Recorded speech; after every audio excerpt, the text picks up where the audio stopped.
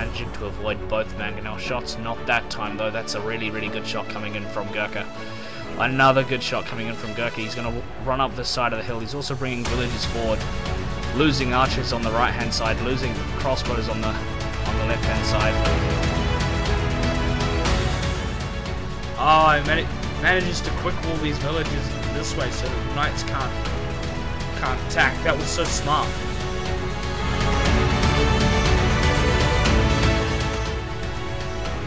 It, it is under T. Oh, is that a that's a nuts shot? Even though they're only archers, it's still a pretty good shot.